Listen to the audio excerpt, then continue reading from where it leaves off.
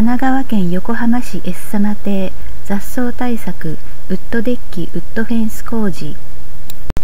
雑草でお困りの奥様からお電話をいただきお伺いいたしましたが苦労してお手入れされている様子でそんなに荒れた状態ではありませんでした。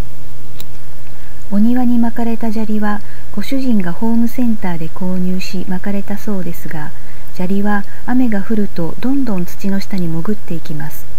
防草シートなしでは雑草が生えてくるので素人には難しいのです。飛び石のように並べた敷石や花壇もご主人と奥様の手作りだそうですが植木市で買ってきた木や花は思うようにきれいに育たず生えてくる雑草に負けてしまう。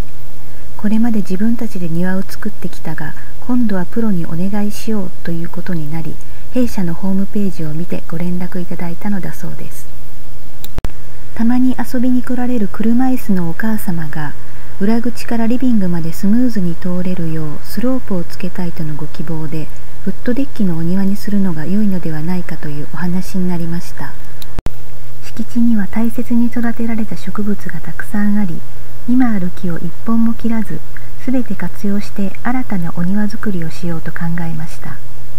グリーンパトロール社長の刈谷です。私が親切丁寧にアドバイスいたしますのでお気軽にご連絡ください。フリーダイヤルは0120-041-301です。お電話お待ちしております。